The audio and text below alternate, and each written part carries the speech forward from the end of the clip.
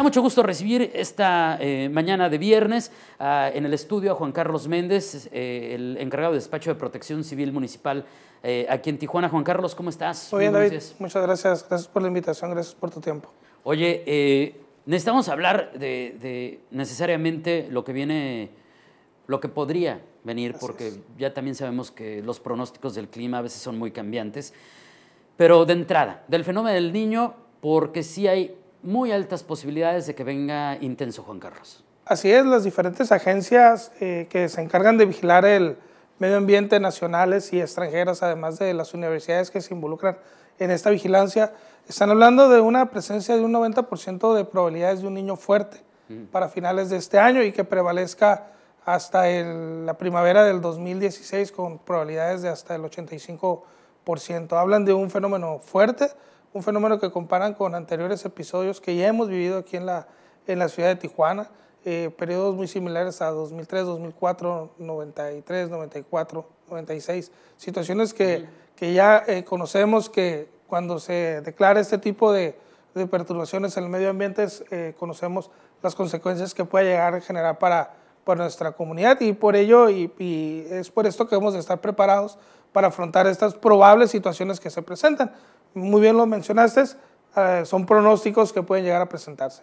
Oye, ¿esto significa en términos prácticos que, o sea, lluvias por periodos muy prolongados, lluvias muy intensas, mucha agua en poco tiempo? ¿Cómo, cómo lo debemos entender? Eh, los, los, eh, los, periodos anteriores que tuvimos se relacionan a ese tipo de eventos que acabas de describir de una manera muy adecuada. Incluso se espera frío, sé que es un mm. invierno frío un poco más de lo común de, lo que estamos acostumbrados para esta zona. Eh, se pueden esperar eh, cantidades importantes de lluvia más de la media normal, por lo tanto eh, puede estar acompañadas de, de, periodos prolongados de lluvia, cantidades por arriba de la media como lo acabo de mencionar y sobre todo acompañado de este, de este frío. Es importante recordar, es un pronóstico, por lo tanto hay que esperar realmente que esto suceda. ¿no?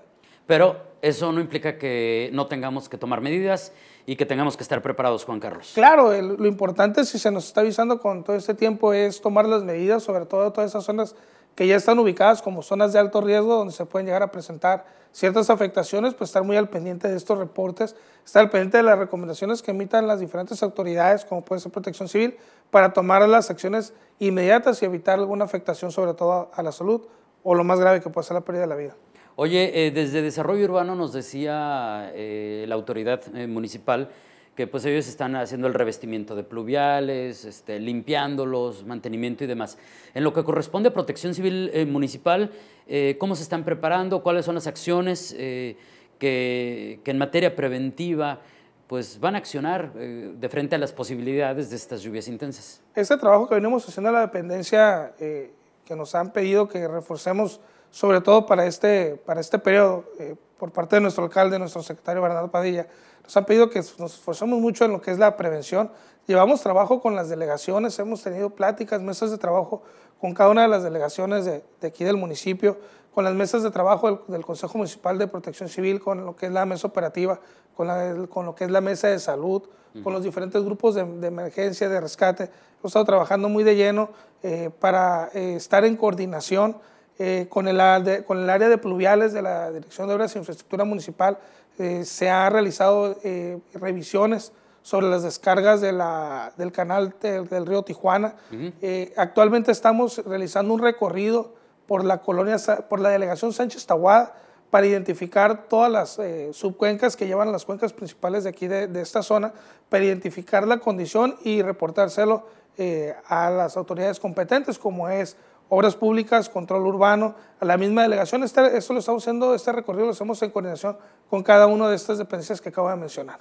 Oye, en cuanto a las familias o habitantes que están en zonas de riesgo, ya nos has platicado algunas estadísticas, pero sería importante también eh, recuperarlo eh, y, sobre todo eh, hablar de, de qué, qué va a pasar, ¿no? Que, sobre todo hablamos, Juan Carlos, creo que de laderas, ¿verdad? Así es. Eh, tenemos alrededor de 5.783 viviendas identificadas en zonas de alto riesgo. Es un trabajo que se ha venido haciendo desde administraciones anteriores. Eh, en este último año hemos identificado más de 1.500 viviendas Adicionales. adicionales eh, junto con este número, ah, pero en, en, esta administración, desde el año 2014 a este, esta cantidad que hemos identificado ah, aproximadamente que están ubicadas en zonas de alto riesgo, que se han censado, se han notificado y se le han informado a las personas que están en una zona de alto riesgo. ¿Para qué? Para que sepan que ante una eventualidad lo más importante es evacuar. Se les deja una información, se les deja información por escrito a cada uno de ellos y se les pide no arriesgarse, no exponer a los más vulnerables, que son adultos, mayores, niños, eh, que requieren de otra persona muchas veces para poderse movilizar. Oye, eh, este, yo mencioné laderas, pero también tengo entendido que hay asentamientos, algunos de ellos irregulares, por ejemplo, en cuencas por donde puede correr el agua en determinado momento y, provocar tragedias, Juan Carlos. Gran, gran, parte de este número que te mencioné son viviendas que están ubicados sobre zonas de avenidas rápidas de agua, sobre zonas de inundación, sobre las mismas cuencas. Hemos realizado recorridos, inclusive hace menos de 15 días, en la demarcación de playas de Tijuana y encontramos algunas personas que están eh, instalándose sobre, sobre estas cuencas y generando el desvío del cauce. Que, y si bien sabemos, el, el agua tiene memoria, en caso de que se presenten lluvias torrenciales, pues va, va, va, a recuperar su camino y puede llegar a generar esta afectación. Es por esto que nosotros notificamos de manera preventiva a todas estas personas que están ubicadas para que eviten eh, seguir continuando viviendo ahí. Entonces, en estas áreas de, de alto riesgo eh, ya están las notificaciones, eh, conforme vayan llegando las lluvias, ya también nos avisaron que van a preparar albergues y apoyos sociales, obviamente los operativos para retirarlos, porque lamentablemente no falta los que no se quieren salir. Así es. Y, cuando está en peligro la vida, la autoridad tiene que, que, hacer lo, suyo. Eh, pero ¿qué hay de los que no necesariamente estamos en una, una zona de alto riesgo? En materia preventiva, ¿cuáles son las recomendaciones? Pues es muy importante eh, el recordar, estar preparados ante cualquier eventualidad, David. Eh, puede temblar en la ciudad de Tijuana. Ahorita el topic eh, puede temblar. En cualquier momento. Somos zona sísmica, punto. estamos en, en, una zona de alto riesgo sísmico y por lo tanto debemos estar preparados para cualquier cosa. Y parte de aquí la recomendación es que en cada casa tengamos nuestra mochila, nuestra mochila de la vida, donde incluye tener víveres para ser autosuficientes al menos por 72 horas, que incluye comida en, barras, barritas de energía, agua para, suficiente para los miembros de familia.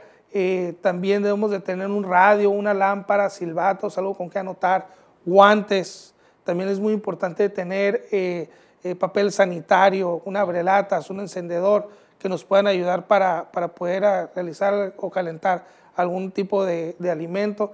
Es muy importante en este momento los papeles, los documentos, mantenerlos en un lugar seguro, en una bolsa hermética, para evitar que si, si entra el agua a casa eh, no se nos vayan a dañar estos papeles. Tener y reconocer eh, los lugares seguros en nuestra comunidad. Con nuestros vecinos debemos de coordinarnos, debemos de tener nuestro plan familiar de, de protección civil. Y aquí lo importante es, esta información está accesible, proteccioncivil.tijuana.gov.mx. Aquí encuentran la información necesaria para realizar su plan familiar de protección civil con los pasos a seguir y sobre todo estamos en la mejor disposición de ir a su comunidad. Si nos invitan, con todo gusto nosotros vamos. Oye, eso está muy interesante, yo nunca había pensado en eso. Aquí siempre decimos, Juan Carlos, que hay que tener un, plan familiar. Por ejemplo, se cortan, viene un fenómeno natural, nos quedamos sin teléfono, sin celular, las vías de comunicación, las calles se interrumpen. ¿Dónde y cómo nos vamos a encontrar?